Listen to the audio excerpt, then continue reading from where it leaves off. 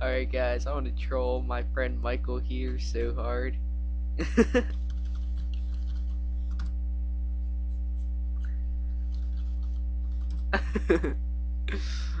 okay. He says I do. He loves me. Oh, wow. What is this? Is he trying to get somewhere? if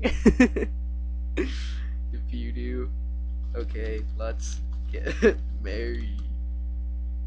This is no homo at all, cause I really am just doing this to troll him. oh, I'm sorry about that if that was a little loud.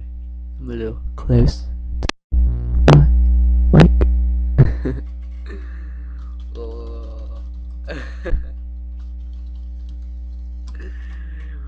We got Michael to confess.